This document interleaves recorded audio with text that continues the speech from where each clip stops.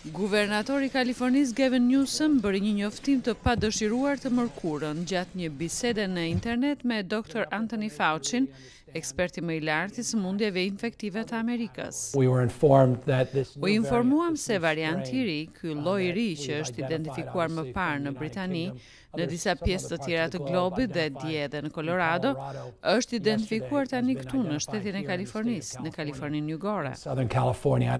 Doktor Fauci tha se nuk ishte i befasuar. Kalifornezët nuk duhet të mendojnë se kjo është diçka e papritur, është diçka që pritej. Zbulimi i variantit të ri në Kaliforni vjen ndërsa shteti po përballet me një krizë pandemie në rritje, përfshi numrin rekord të vdekjeve. Spitalet po përpiqen të trajtojnë valën e madhe të pacientëve të sëmurë rëndë dhe shkalla e infeksionit mund të rritet më tej në javët e ardhshme.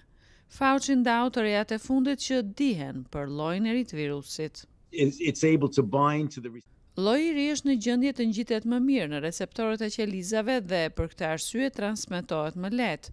Nuk ka asnjë tregues se ai rrit virulencën. Dhe me virulencë dua të them aftësinë për të të sëmurur ose për të të vrarë. Pra nuk është më i fortë në këtë drejtim. Përveç kësaj, nuk duket se i shmanget mbrojtjes nga antitrupat që nxiten nga vaksinat.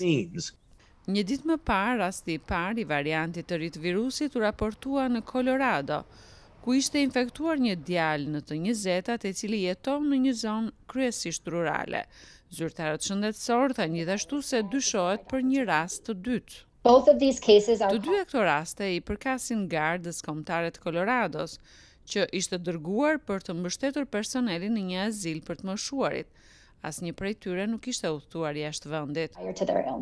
Zyrtarët e Kolorados thanë se pacienti i infektuar ka simptoma të lehta dhe aktualisht është i izoluar.